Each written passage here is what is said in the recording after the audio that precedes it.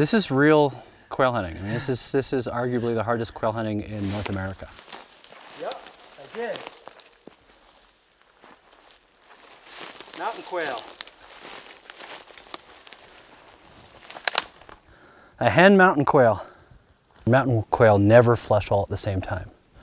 So you gotta be ready.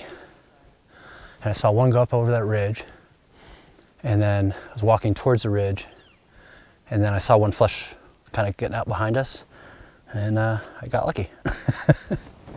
it's so hard to get on animals up here that when you, this, every bird is a trophy up here, every single one.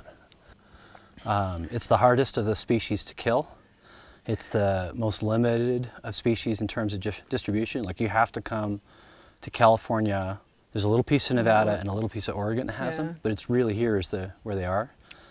And um, yeah, this and Mern's Mearns quail in Arizona, they're also super limited. Yeah. And we're lucky we have these here. Yeah. So but they're they're super hard to hunt. Um, you got to get lucky and. They're the biggest of all the quail because they're very scattered and they're um, they're in small coveys. So it's not like a, like if we were valley quail hunting, there could be 30 birds in a covey. Yeah. And I've never seen more than maybe 14 in yeah. one of these. And usually it's like eight or 10. Yeah. And uh, so that's why shooting three out of this one covey, it's enough because they live here. And, um, and so they'll be here next year and the year after that and the year after that.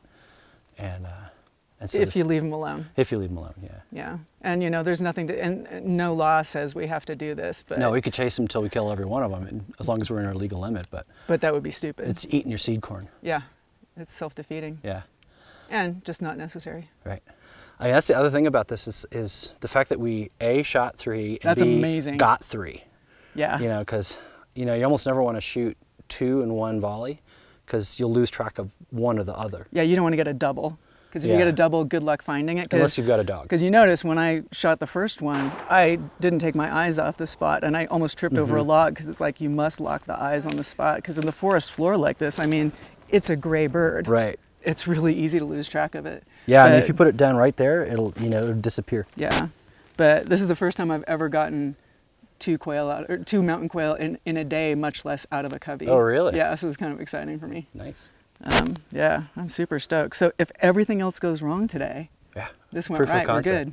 Should just go and get coffee.